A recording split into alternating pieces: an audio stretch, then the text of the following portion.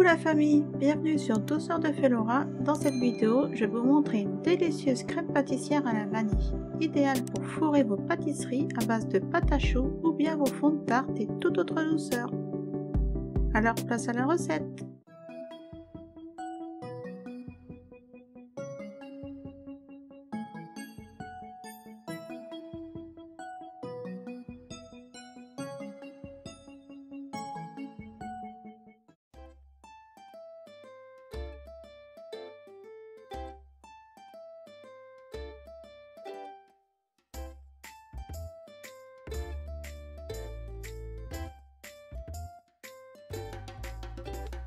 On commence par mettre dans une casserole le lait à chauffer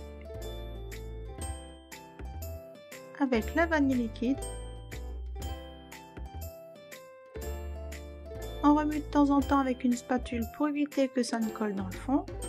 Et cela permettra aussi de récupérer nos ferments lactiques qui donneront plus de goût à notre crème. Au premier bouillon, on retire du point de chauffe. Ensuite, dans un bol, nous allons mélanger nos jaunes d'œufs avec le sucre. On blanchit légèrement pour éviter que le sucre ne brûle les jaunes, c'est-à-dire les faces coagulées, cuire. On ajoute ensuite la farine et la fécule. On mélange bien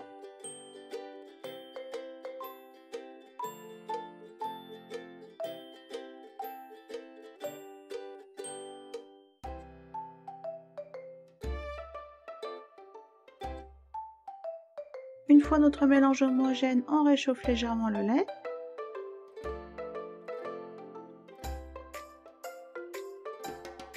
On verse la moitié du lait dans notre préparation précédente. On remue pour homogénéiser.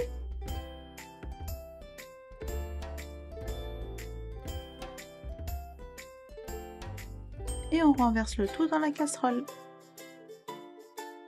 On fouette bien notre crème sur feu moyen jusqu'à épaississement.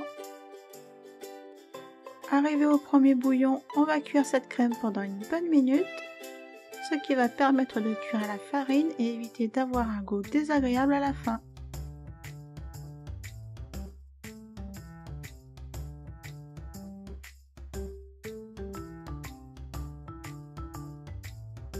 On sait que notre crème est cuite lorsqu'elle est lisse et fluide. On retire du point de chauffe. Et on ajoute le beurre congelé si possible. Puis on passe le mixeur plongeant, ce qui va permettre aux molécules d'amidon dans la farine d'exploser et de rendre la crème plus fondante et soyeuse.